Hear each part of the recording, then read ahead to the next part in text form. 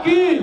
Um abraço da Intersindical Central da Classe Trabalhadora, que juntamente com as organizações da Frente Povo Sem Medo, do MTST e das demais organizações que estamos buscando construir a unidade necessária para botar abaixo esse governo representante direto do capital internacional, representante direto das oligarquias e dos corruptos que se apropriaram do poder.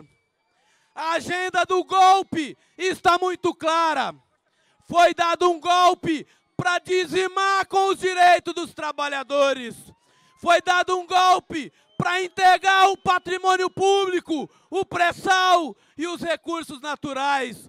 Foi dado um golpe para acabar com os direitos trabalhistas, para aprovar a terceirização e para aumentar a exploração sobre o povo, a opressão sobre as mulheres, os negros, a comunidade LGBT e todos os setores da nossa classe.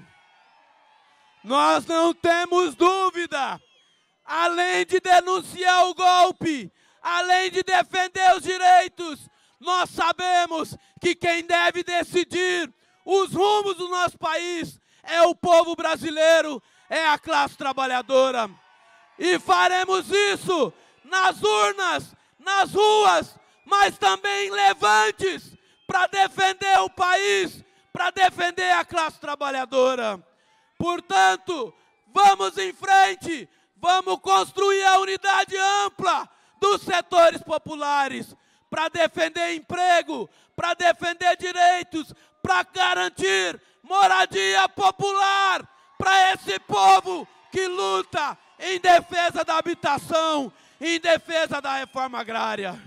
Portanto, vamos à luta, vamos chacoalhar esse governo, vamos botar abaixo o golpismo, o sistema financeiro internacional para garantir os nossos direitos. Viva a frente, povo sem medo! Viva a unidade popular! E abaixo o governo golpista de Michel Temer. Um grande abraço! Vamos à luta até a vitória, que será dura, mas virá com a nossa persistência, com a nossa organização e, fundamentalmente, com a determinação da classe trabalhadora brasileira de defender os seus direitos. Grande abraço, viva a unidade, viva a luta pelo Fora Temer.